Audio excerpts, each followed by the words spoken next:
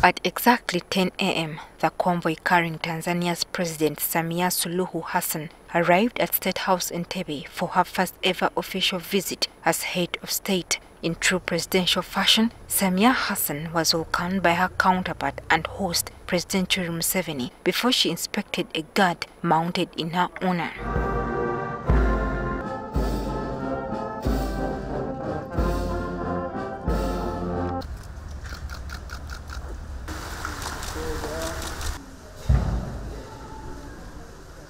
The two leaders then headed into State House for private discussions.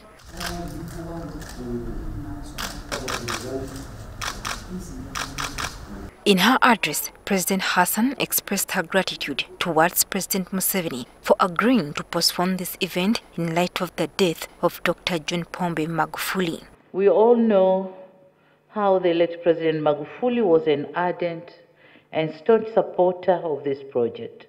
And so, postponing the event was an honor to his commitment and the realization of this project. President Hassan also observed that the oil pipeline is going to benefit both countries through the creation of jobs as well as improving on trade relations. This project will have an impact on socio-economic development and geostrategic dynamics.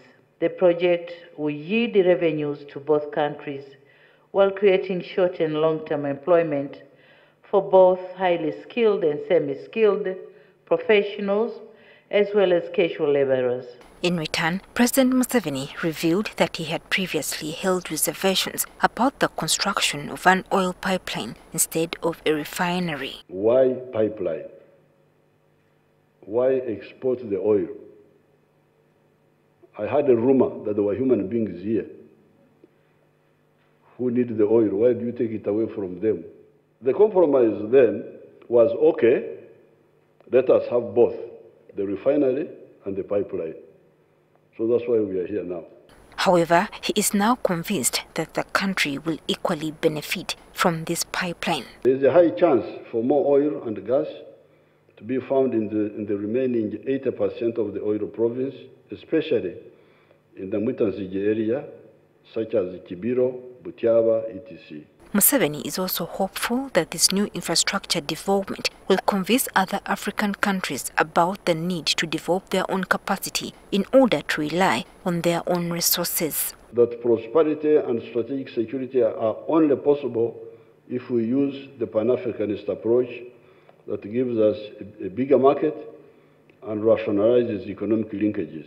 What now remains to be agreed on is the final investment decision that will guide the implementation of the entire oil project.